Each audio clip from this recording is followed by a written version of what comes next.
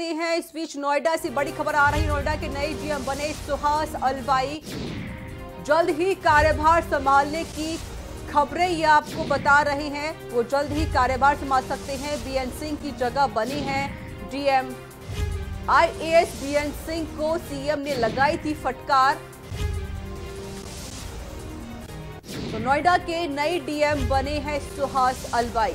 तो आज ही कार्यभार संभालेंगे सुहास अलवाई।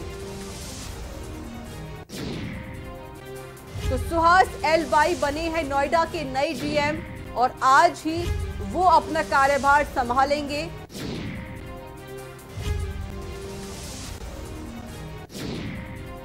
तो नोएडा के पूर्व डीएम बी एन सिंह को सीएम योगी ने फटकार लगाई थी। उन्होंने पत्र लिखकर तीन महीने की छुट्टी मांगी थी और इसी को लेकर जो लापरवाही बढ़ती जा रही है तो सीएम योगी ने उनको फटकार लगाई और फटकार लगने के बाद ग्रेटर नोएडा के पूर्व डीएम बी एन सिंह ने पत्र लिखा और छुट्टी की मांग की। इसी को लेकर उनको छुट्टी की अनुमति दे दी गई है और वहीं पर उनकी जगह अब नए डीएम बनेंगे सुहास एलवाई।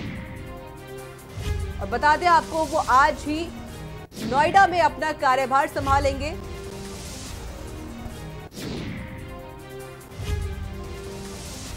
सुहास एलवाई बड़े ही टर्रार डीएम माने जाते हैं। उनकी छवि काफ़ी अच्छी मानी जाती है। इसी को लेकर उनको नोएडा का नया डीएम बनाया गया है।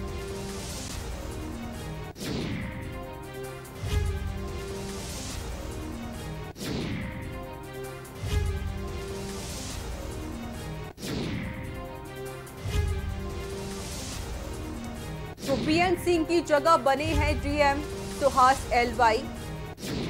उनको नया डीएम बनाया गया है नोएडा का।